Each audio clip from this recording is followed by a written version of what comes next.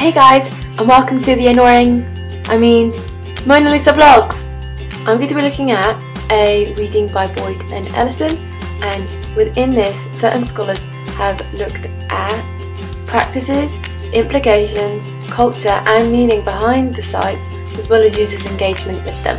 First of all, social networking. Should you use networking or network?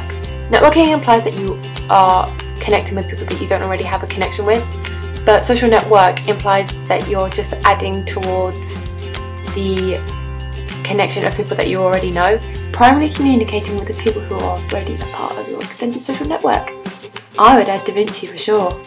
It's all about interpersonal communication and impression management, a view about how we connect with each other and how we do this through features of social networking sites. The world of SNSs are constantly changing and new features being added every month. So, from 6degrees.com, we actually need people online for our public communication and impression management. If we have no one to actually express ourselves to, then this becomes redundant. If we were on Twitter with no followers, what's the point? We have a need to share, teenagers more so than others, so they're a primary market. They helped MySpace become what it was before Facebook, and the simplest thing was, they just brought their friends.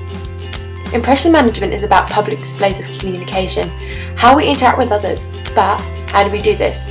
Skog suggests Lunarstorm allowed users to have a rank on a status meter to show how they were interacting with others on the site and how authentic they were.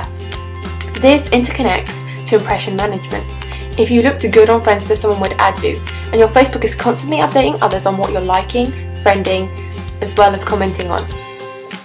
Boyd examined fake profiles and dubbed them fakesters, and has argued that no profile could ever be truly real. We can see what we don't want others to see, and 46% of teenagers with an open profile on sites such as Facebook said yes to some form of false information on their site. So guys, that's the end of the video. Don't forget to like, favourite and subscribe as well as leave a comment. I want to hear what your thoughts are. All references will be in the doobly-doo below. Why don't you share this on Facebook or Twitter. Let everyone know what your digital identity is. Bye!